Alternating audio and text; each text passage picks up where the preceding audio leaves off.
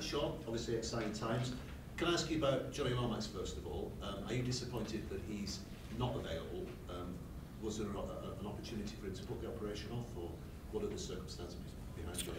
No, no, we, we had a very emotional phone call yesterday and day before, and and uh, and he pulled himself out, and I understand. Um, but I'm, I'm really happy with the squad we've named, and it's uh, I'm, I'm, all for thinking forward and, and not thinking about you know Johnny's gone, Percy's gone, Liam Farrell's gone, Harry Newman's gone, but I've got a really really strong group of men, and um, and I'm more than happy with, with, with what we've got. Um, obviously, some young players that we've not seen a lot of over here, but obviously very English. But Victor Radley, you've spoken about him before. What does he bring, and, and how committed is he to this industry? Oh, he's very committed. Um, yeah, he's, it was very emotional when he, when he rang me and, uh, and put his name forward. He's really keen to, to represent England and he's very proud of where his dad's from. And, um, and he's a good player, he's tough, comp competes, um, he can play. Uh, but his main attribute is that he, he competes for everything. So um, it suits the way we want to play. And just finally for me, the two youngsters, Herbie Farnworth, Dom Young, again, you know, English lads through and through, but we've not seen much of them. Can you just tell us a little bit about them? yeah, fantastic athletes as you can you can see. And I went over to Australia to watch the Magic Weekend and met up with Herbie and spent a, a day with him. And I was really really impressed with his desire to play for England. And and uh, we have got a fantastic athlete. You know, well, two fantastic athletes with uh, with Herbie and Dom on our edges. Don need any persuading? Because he was, I think he would have been in Jamaica last year, wouldn't he? Had he gone ahead last year? So was there a bit of persuading needed there? Or? No, no, I'd, I'd have been disappointed if I needed persuading. Uh, no, no, he's very keen. Spoke to him and his agent in Australia, so yeah, he's full on and um, and he's fitted in well with it. We're training with the lads uh, this week in, in Fallout, so yeah, he's been really good. Sean, I'm sure Erby will be able to answer for himself shortly, but um, he hasn't played for a while, has he? Are you confident that it's going to be match fit and ready to go? Yeah, his, his injury was upper body injury, so he can run. He's fit. He's dedicated. He's, I know he's been wo- working really hard, and my medical team has been speaking to his uh, the Brisbane medical team, and uh, and I'm more than confident with with Herbie. I've no I've no uh, concerns at all. Herbie, are you, are you fit and ready to go? Yeah, yeah, feeling fine now. So I've had a long, a long time out. Um, I think 15, 15 weeks now. But yeah, as uh, Shaun said, I mean, he's, I've been, I've been working hard with the England uh, staff and the and the Broncos staff, and uh, it's it's uh, fine now. Yeah, so I'm just ready to play.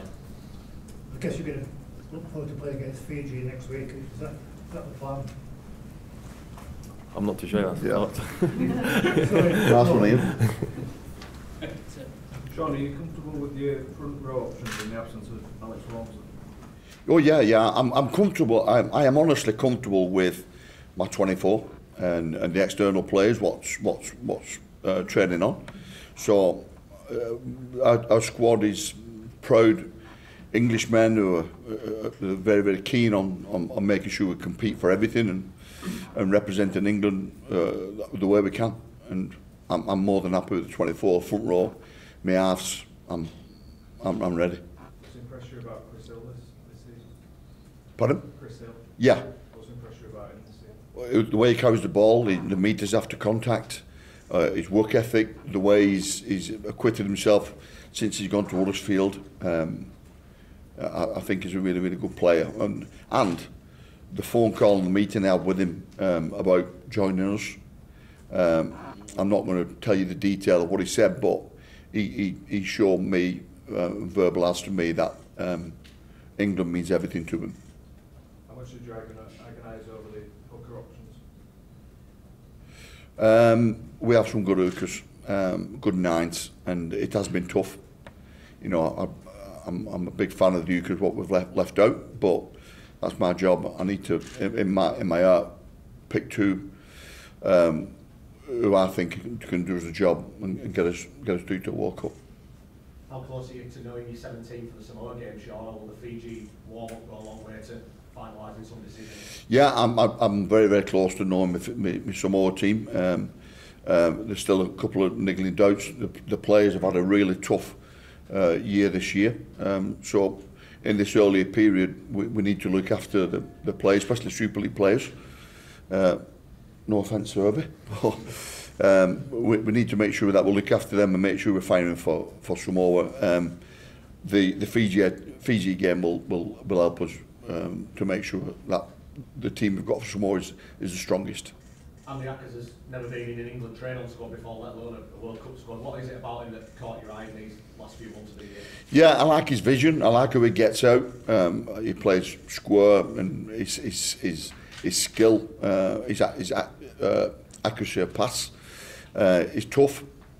He's a, he's a winger, defence tough. And, um, you know, so he's got a good all-round game and he's a form player and I said all year, um, you know, I'll pick, I'll pick what I believe is the best at the end.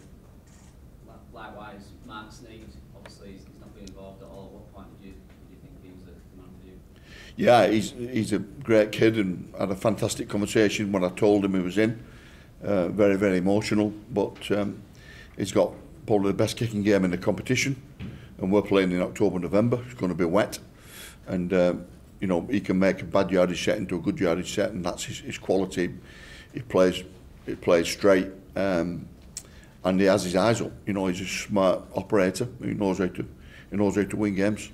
And obviously you're without a few sectors, but trying to get a sport, he's obviously a real talent in it, but what do you think he can bring to it? Yeah, well, he's big, tall athlete. You know, you, you, you look at Cal and, and Herbie and Dom, and we've got Ide, Kai, six foot five or whatever he is, and playing the back row, playing the centre, great skill, great offload, uh, runs hard, uh, fights to play the ball quickly, and all all attributes which which I love. So he'll, he'll be he'll be a good asset to us.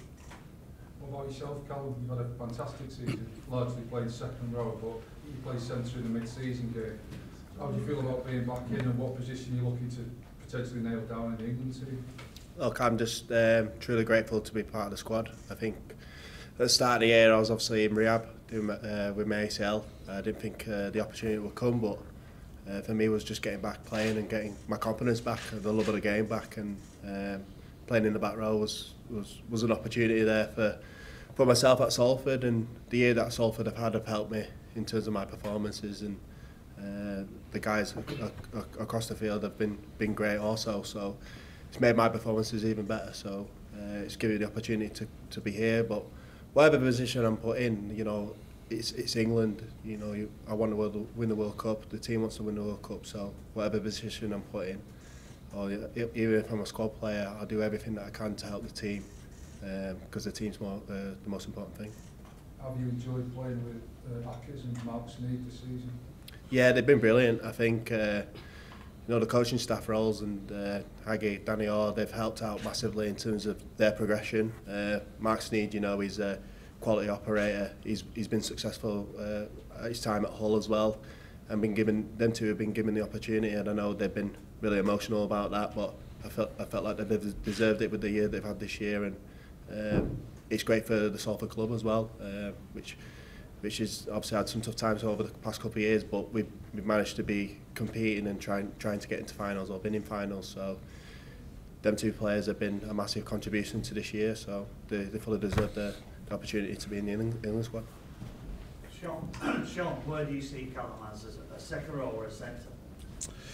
Um, centre uh, and a second row. So I, I do like players what can play two positions, but uh, But I, he's always been a pain in the backside for me as a centre. When we've played for Wigan against him, he's, he's, uh, I appreciate he's the unbelievable talent, great lad to, to work with. And, um, you know, I, I do see him as a centre, but obviously you see his form this, this year for Salford in the back row. It's, uh, it's a great asset to us as England.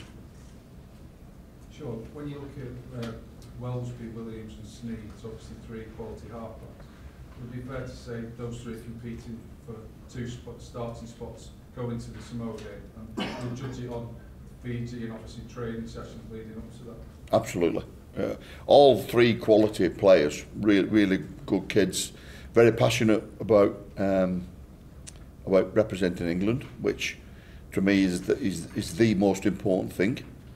Um, you know, but they're all up against each other. They understand. Um, I'm very much into tell everybody everything, and uh, and they, they, they know that the best two will play. What have you made of Wellesley this season? Yeah, I've been impressed. He's a good player. He's smart, he competes, he's tough. Uh, I think he's a, he's a real good asset to us. The fact that you can pick him centre fullback, half, he's, he's just a he's just a good rugby player. I'm not sure how much um, St Helens have done with him. Um, I just think he's a natural good rugby player. What do you think is his best position? Um, in the halves, I think he's a good fullback. He's, he's very hard. He, he just seems to do well wherever he plays. But you guess that Sam will be number one as captain. Yeah, So where is Welsby going to, like you say, he can play anywhere. yeah. Well, he's going to play against uh, Fiji, so we'll see how he goes there. Sam, what have you of Jack Welsby this season? I know he's, he's previously, previously talked in the past about looking up to you when, when he was a Wigan fan growing up. Yeah, he's he's been outstanding. I think he's he's proven now for long enough that he's not just a you know a, a one season wonder, and he's as Shaun touched on there. He's he's played a lot of positions.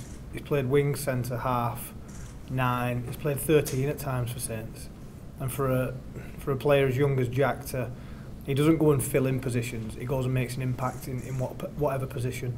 And he's playing in a very good central inside, you know, and whichever position he plays, he makes them better. He's probably Saints his best centre, winger, full back and half. So that, that you know that shows how, how good of a how good of a player he is. Um, and the big one, spoke to him after the after the final, um, and they were speaking about his GPS numbers, and he just said, they said, you know, how do you move so fast and cover so much ground? He said, I don't want to let people down, and that's the competitor in him. You can see that, you know, he, covers a lot of ground in a game, and that's you know that's not taught, that's natural, and he's a he's a competitor. Every little battle he wants to try and win, and I think that's what sets him out as one of the one of the very best in Super League at the moment. Are you confident that the squad that's been there today can go on to win the World Cup on home soil? Yeah, I believe so. I think in a World Cup, you've you know you've you've got to hit form straight away, um, which always isn't isn't always easy. But we've got 24 blokes that are desperate to play for England, and that goes a long way. You know, so you, you've got to go and win quarter, a semi, and a final, and I think the the group we've got is well capable of going doing that. Yeah. Herbie, yourself uh, being included in England's squad for the first time, how, how excited is that for you to, to be part of this side? Yeah, it's, it's an absolute dream. Um, obviously, I've been out been out all year. I've, I've not played. I've not played since round 12. So I've just been my, my eyes have been firmly on, on the World Cup and been speaking to Wane uh, quite a lot through the year and been telling him how how much it it, it uh, means to me. But uh, it feels kind of weird that it's actually finally here now, and I can't wait to actually play on English soil again. Yeah, you, you live in Australia now, and you have done for, for quite a while. But your your parents and your family must be over the moon. Yeah, well, I've not played in front of my uh, my family for a long, long time. So I think last time I played over here I was about 16, 17. Um, yeah, so it'd be pretty cool to to um, play play for England and um, and then uh, get a get a win that that uh, first game as, as well. You, you were out of the squad and then you were back in. What what did you have to do to get back into favour with Shaun? Oh, just I had to, had to show him that I was still um, training hard and uh, a couple of things dropped uh, dropped off on like a um, communication standpoint really, uh, and then I had to prove to prove to Shaun and prove to the boys that I was still still still wanted to be part of the team and uh, thankfully that, that happened and um, Shaun Shaun brought, brought brought me back into the team. Earlier, you, you, you've seen um, the, the Samoan qualified players up front and personal uh, this season. How, how big a challenge is that first game, would you say? Oh yeah, it's a it's a very strong challenge. Um, a couple of those boys got named in the um, Australian side and obviously tailed it down to play for their, their home country. So um, they got top top quality side, top top quality um, uh, NRL players. So, but I think we got we got the the uh, side to um, match them and and um, I think I, th- I think we got the side to, to beat them as well. Can you tell us what Victor Radley will bring to the England team? Oh, it just brings a lot of toughness. Um, he's a quality player, brings skill as well. He could he could probably play half as well. Could um, could Rad. So yeah, he's a he's a he's a, he's a, he's a, a, a top quality player. Um, it's be it'd be nice to have him for for a part of us. And have you been impressed by Dom Young in the playing for Newcastle? Yeah, I played against him this year, and he's he's a really strong boy. Uh, I tried tackling him a couple of times. I think he, I think he bounced me off a, for, uh, once or twice. But yeah, he's a big lad, um, strong, fast. So yeah, he brings a lot of um, size to our to our team, a lot of power. So it'd be interesting to see him play. Looking forward to playing with him rather than against Yeah, definitely. Yeah. Shaun, you know, you look at some of the senior players like Elliot, John Bateman, Sam, Callum, who've been around for a long time now, and then the, the, the ones like Herbie coming through and Dom Young. Does that blend, do you think you've got the right blend there that can really go on and sort of, like Sam said, potentially win the World Cup? Yeah, absolutely. Uh, uh, when I say at the start, I'm, I've, I've got 24 really, really strong, committed men who want to represent England. I, I genuinely mean that. I look through that the squad of 24 and I'm really happy. Um, and the blend we've got of, you know, the average age is 27, 28. So it's, uh, it's, a, it's a really good age of uh, uh, experience and, and youth and it's going to put us in good stead going through into these, these early group games. What was uh, Andy Acker's reaction when you told him? Very, very emotional. Um, yeah, very emotional. He's a proud Englishman, and yeah, it was it was it was good. It was it was a tough one to listen to, uh, but it was uh, yeah, it was, it was good. I see this as the strongest World Cup, looking at Samoa's squad, Tonga's potential squad. You haven't seen the Aussie squad yet. Is this the toughest one we've seen in the last? Yeah, yeah, yeah. I mean, you look at Samoa; they've got nine players playing this weekend on Sunday morning in the NRL, and um, you know we have to be very good. Uh, they're a very good team, but we're a good team as well, and, uh, we, we've got things on our side, but they've not got, and they've got they're big and tough, and, um, you know. So it's going to be full on that game at Newcastle, and. But the other, the other teams as well, they're not in the group. no, uh, your Tongas and New Zealand, Australia, all very, very strong. Um, you know, and we need to be good. To, you know, we're going to we're going to have to play them and, and, and beat them in. The thought is that one of them five isn't going to make the semi-final. Yeah, yeah. So, Sam, you've seen, is it the strongest you've seen Yeah. in your, your career in the World Cup? Yeah, comfortably, I think. You know, you look at Samoa and Tonga in the previous World Cups, they didn't have anything like the squads they've got now, and that's down to a lot of players, you know, wanting to play for the for the home country rather than Australia, which it weakens Australia, but only a little bit. You know, they've got they could name three squads and, and, and compete. So um, I think it's good for good for the World Cup as um, for viewing. You know, there's there's five teams there that can all, I believe, play each other, and some are being upset. There'll be some shock shock victories, I think, in, in the World Cup from from teams, and you know, hopefully we're not on the, the wrong side of any of those. But yeah, there's there's five teams in it that, that could all compete, and as you say, one of those is going to be a good team that doesn't even make a semi.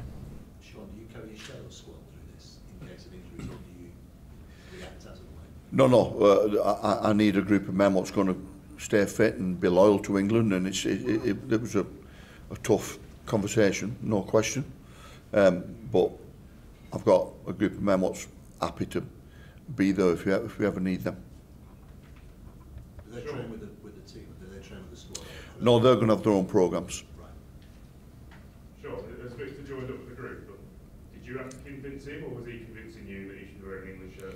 No, he, he, he, messaged me, WhatsApp me, and then rang me, which which makes a difference. And uh, I didn't I didn't need to persuade him. It, the conversation was really one-sided about his desire to play for England and and uh, a lot of detail on how important it was for him to win. Shaun, did you speak to Jackson Hastings at all? Yeah. year about representing England? Yeah, I spoke to him, spoke to him last week, spoke to him two weeks before that, two weeks before that. Yeah. No, no, I was just really, really honest and, and, and straight, and uh, and uh, he's been out with a broken leg, and he, he needs to get himself right, you know. But I've got I've got three good halves.